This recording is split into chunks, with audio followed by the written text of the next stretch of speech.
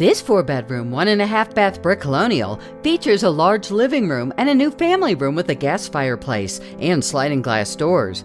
Continue to the dining room and gorgeous updated kitchen with stainless steel appliances and granite countertops. The Florida room with another gas fireplace looks out to the huge fenced in backyard with a small patio and two sheds. Upstairs is a master bedroom and three additional bedrooms that share a full hall bathroom. Schedule a showing with Maureen McGettigan Wade today.